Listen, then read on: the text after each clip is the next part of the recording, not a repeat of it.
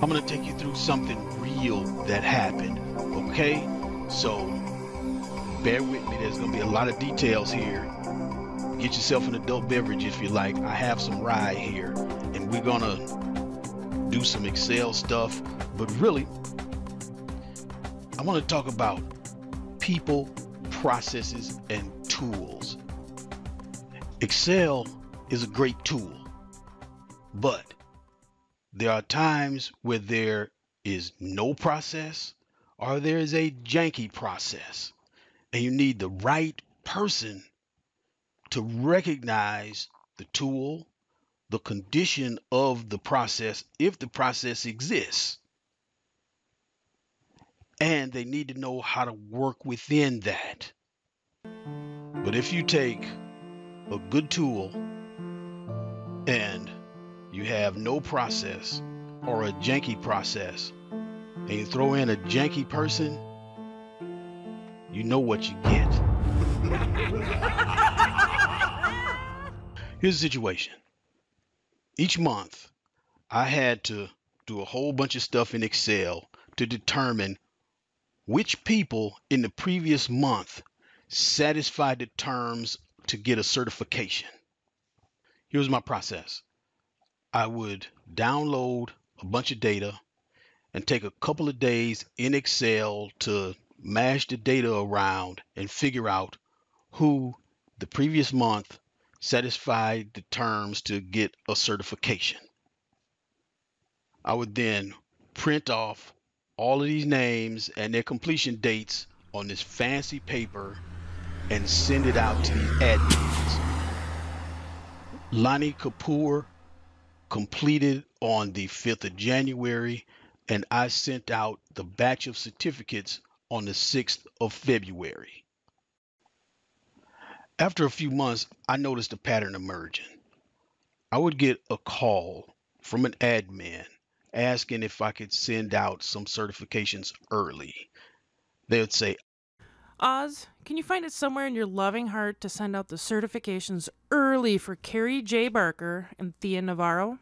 We usually get the certificates around the 9th or the 10th of the month, but next month their ceremony is scheduled for the 4th. It'd be really great if we could give them their certificates at the award ceremony. So I go in the system and I verify yes, these two are complete and they will be part of my process when I start it next month. Here's another piece of this. Each certification costs $75 a person. So if I send out an extra, that's when the admin calls back and says, You people, I'm sick of y'all. All right, because they know they are about to get charged another $75. And now I got this angry person and I've got to process a refund.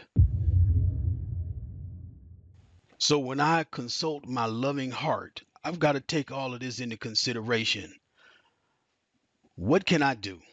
One, I could say, hell no, I've got my process. It's inviolable and it is inflexible. And this person will not die if they don't get their certificate at this ceremony. Or I can modify my process.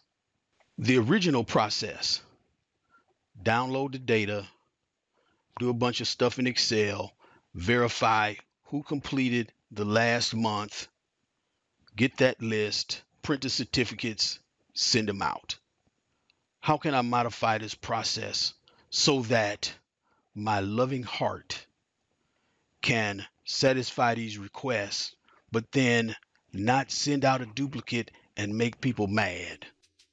Here I have every certificate that's been sent out and when it was sent.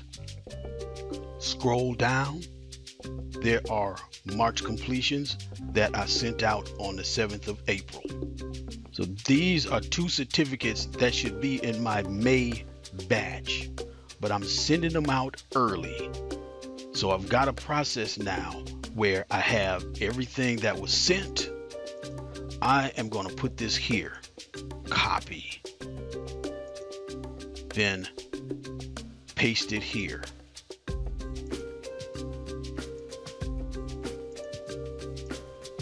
I'm sending these out on the 19th of April. Fast forward, it's the 6th of May. I have figured out everybody who completed certifications in April. These folks. Now I need a step in my process that will tell me what has already been sent out. Now let's think about this. I am going to be sending out a stack of certificates and a list of everybody who completed in April. Now, I cannot go by memory. That gets the nasty phone calls. I have to have a formal step that will bounce this new list of completions against what's already been sent.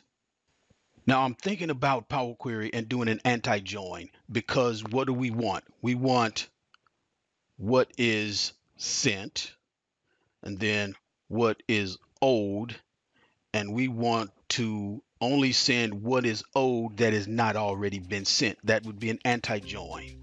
But I am going to do a simple XLOOKUP. I'm going to put this in a table.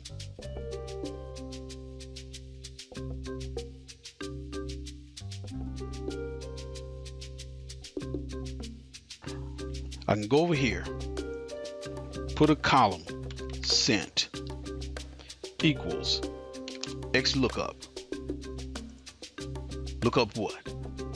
Tyler Grand, comma, look up where?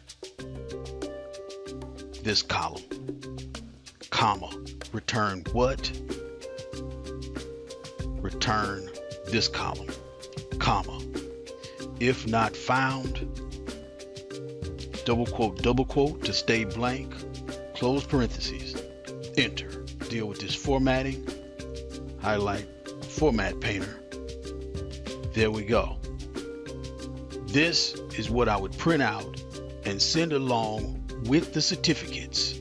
And when the admin goes through it and sees 17 names but 15 certificates in the envelope, she will know what's the deal with the other two. Remember, what's important is that the process works. It's got more steps in it. It's not purely automated. But what is the bottom line? That we send all of the certificates that are due and we don't send any duplicates. That's it. The admin doesn't care if we use DAX, VBA code, pivot tables, SUMIFS, solver, none of that stuff. Bottom line is getting this right. And that's where you need Good people, good processes, good tools, nothing janky, and loving hearts. See you in the next video.